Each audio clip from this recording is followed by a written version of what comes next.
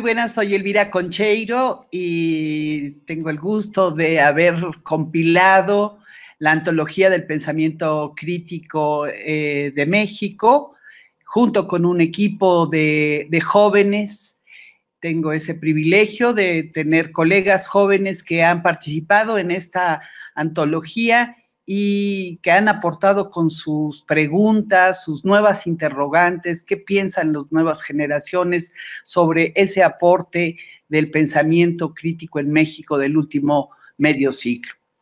En, esta, en este libro hemos eh, organizado a la veintena de autores que seleccionamos alrededor de, de cinco temáticas tratando de cubrir una, problemática que consideramos compleja de, nuestro país.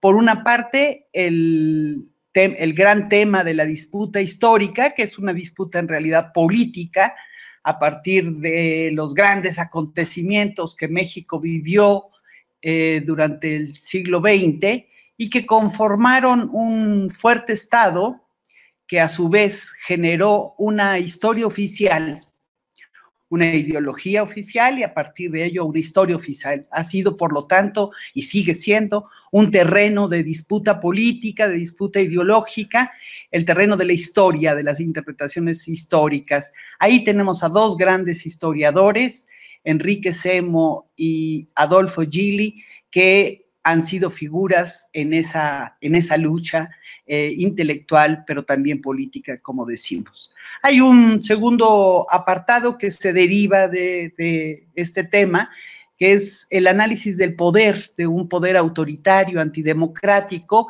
junto a una sociedad que pese a sus grandes gestas de independencia no ha superado el colonialismo. Hay, hay aportes como el de Pablo González Casanova sobre el colonialismo interno, un tema de actualidad, de, enorme actualidad.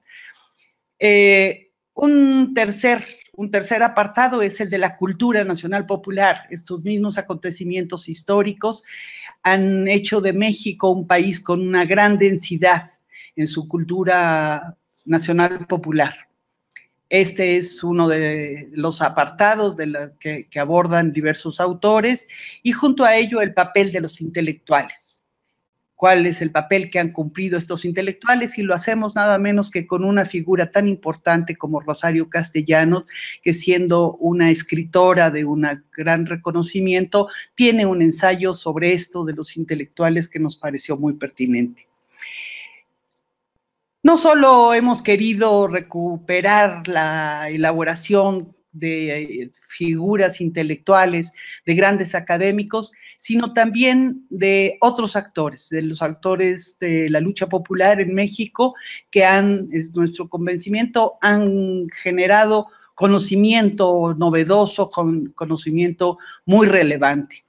Entre ellos está la lucha armada en nuestro país, está la lucha indígena, la lucha feminista y desde luego también la lucha estudiantil que en 1968 en México fue de una enorme relevancia.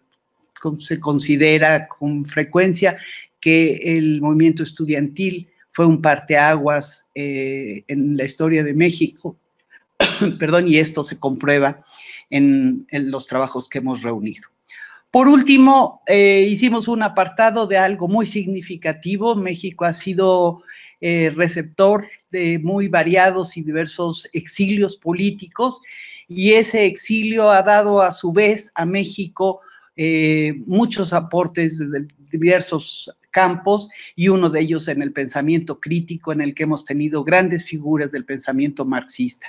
Entre ellos está un Adolfo Sánchez Vázquez que viene de la Guerra Civil Española, Enrique Dussel de Argentina, eh, Bolívar Echeverría de Ecuador, todos ellos eh, intelectuales de una gran relevancia y que hemos considerado parte integrante de nuestro eh, pensamiento crítico como ellos lo hicieron en vida.